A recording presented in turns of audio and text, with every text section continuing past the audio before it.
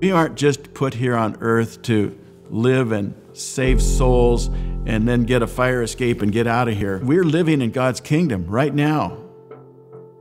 And we're a part of playing a role in building that kingdom. And everything we do should be of high quality and should be of, of uh, intention, done with intention.